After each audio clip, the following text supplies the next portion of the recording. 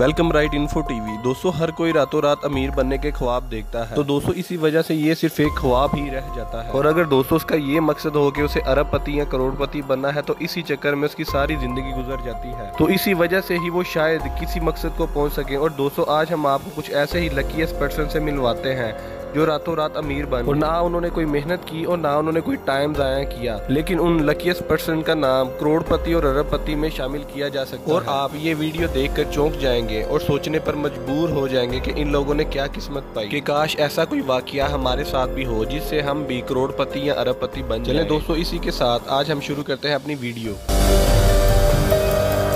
और दोस्तों, सबसे पहले हम बात करते हैं ऑस्ट्रेलिया में रहने वाले शहर बलारक में रहने वाले एक गोल्ड माइनर दोस्तों, ये शख्स मेटल डिटेक्टर की मदद से ज़मीन में गुम मजीद डिस्कस करने से पहले वीडियो को लाइक करें राइट इन्फो टीवी को सब्सक्राइब करें और बेल आइकन पर ज़रूर क्लिक करें। हुई चीज़ें ढूंढ कर उनको बेच कर अपना दरगुजर करता था। एक दिन ये शख्स उसी मेटल डिटेक्टर की मदद से ज़मीन में सर्च कर रहा था कि अचानक से उसके मेटल डिटेक्टर का सिग्नल बहुत तेज हो गया। इसने फौरी तौर पर उस जगह की खुदाई करना शुरू कर दी और इसे एक ऐसी चीज़ दिखी कि जिसे देख कर ये हैरान और परेशान दोस्तों इसे उस खुदाई की जगह से एक बहुत बड़ा सोने का टुकड़ा मिला जिसे देख कर ये हैरान हो गया और इसने जब उसको बेचने के बारे में सोचा तो आपको सोचकर हैरानगी होगी कि उसकी कीमत दो लाख पचास हज़ार डॉलर थी, जो कि पाकिस्तानी तीन करोड़ नब्बे लाख रुपए बनते हैं। और दोस्तों, ये सोने का पत्थर तकरीबन पाँच किलो वजनी था। और दोस्तों, बड़ों ने क्या खूब कहा है कि जो किस्मत में होता है, वो मिलके ही रहता है।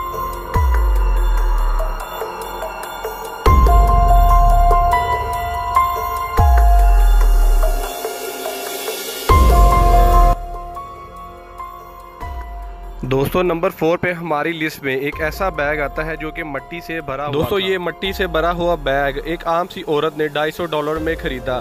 दिखने में ये मट्टी बहुत ही अजीब सी लग रही थी, लेकिन ये उसको खरीदने के बाद घर चली गई। दोस्तों, बाद में इस औरत ने ये मट्टी का सैंपल नासा को भेजा और इस मट्टी पर सर्च करने के बाद पता चला कि ये वही मट्टी है जो चाँद से लाई गई थी, जो कि नील आर्मस्टर्न चाँद से लेकर आए थे। और दोस्तों, जब वो मट्टी का बैग नासा ने नैन्सी को देने से इनकार कर दिया तो ये मामला कोर्ट में चला तो दोस्तों, कोर्ट ने नैन्सी के हक में फैसला कर दिया। लेकिन दोस्तों, बाद में नैन्सी ने इसी मट्टी के बैग को एक ऑप्शन में ले जाकर इसकी बोली लगवाई। आई तो इसकी बोली 18 लाख डॉलर लगी जो कि 200 पाकिस्तानी 28 करोड़ पे बनते हैं। दोस्तों इसी तरह ये औरत रातों रात अमीर बन गई।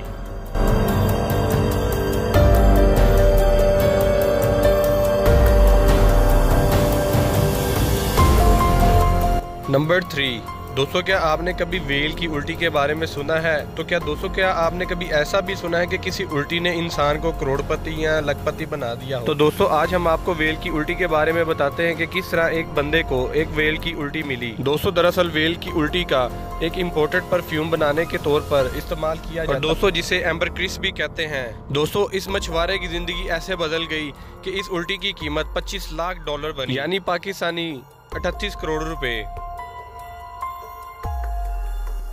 नंबर टू दोस्तों बात करते हैं एक माइनर यानी कारकुन की। इस बंदे का नाम बोबी था जो कि पहाड़ों को तराश कर मुख्तलिफ़ मिनरल्स को डिस्कवर किया करता था। दोस्तों इस बंदे ने यहाँ पर 40 साल तक सर्विस दी। और दोस्तों जब इस बंदे की रिटायरमेंट का टाइम आया तो ये अपने साथ कुछ छोटे बड़े पत्थर ले आया।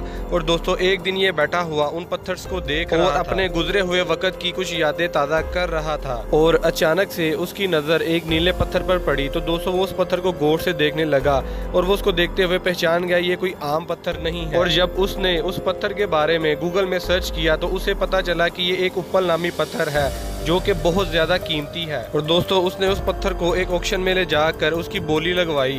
तो दोस्तों आप सुन के हैरान रह जाएँगे कि उस पत्थर की कीमत तीस लाख डॉलर तक लगाई गई जो कि पाकिस्तानी छियालीस करोड़ रुपए बनते हैं। और दोस्तों इस तरह ये शख्स रातों रात अमीर हो गया जिसने कभी सोचा भी नहीं था कि एक मामूली सा पत्थर उसकी ज़िंदगी ही बदल देगा। और अगर दोस्तों आपके हाथ में इसी तरह का कोई पत्थर लगे तो क्या आप उसे आम पत्थर जानकर फेंक देंगे या उसे अपने पास रख के उसकी तहकीक करेंगे? हमें कमेंट सेशन में कमेंट करके ज़रूर बताइएगा।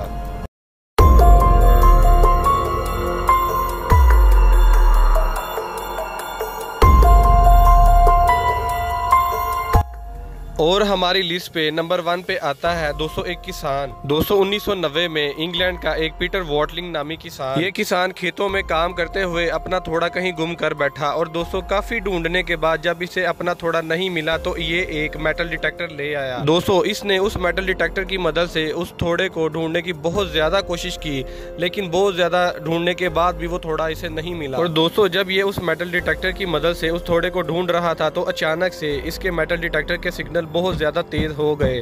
और दोस्तों उसके सिग्नल तेज़ होने के बाद जब इस बंदे ने उस जगह की खुदाई करना शुरू और दोस्तों इसको वहाँ पे एक बहुत बड़ा खजाना मिला जिसमें 300 साल पुराने सोने के सिक्के और कुछ सोना और रोमन के वक्त के कुछ बर्तन और रोमन के वक्त के चौथी पांचवी सदी के नया बर्तन भी मिले।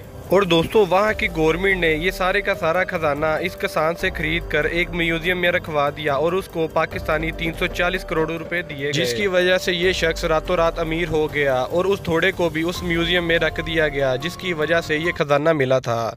दोस्तों, अगर आपको हमारी ये वीडियो पसंद आई हो तो हमारे चैनल को लाइक और सब्सक्राइब ज़रूर कर दें, ताकि आपको नई आने वाली वीडियो बर वक्त मिल सके। दोस्तों, अपना बहुत ज़्यादा ख्याल रखिएगा। अल्लाह